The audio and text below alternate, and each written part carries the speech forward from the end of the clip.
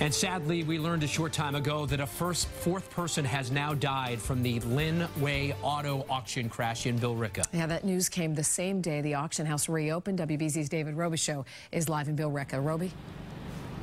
Lisa, the Middlesex County District Attorney's Office notified us late this afternoon that the fourth victim is a 50-year-old man from Buzzards Bay.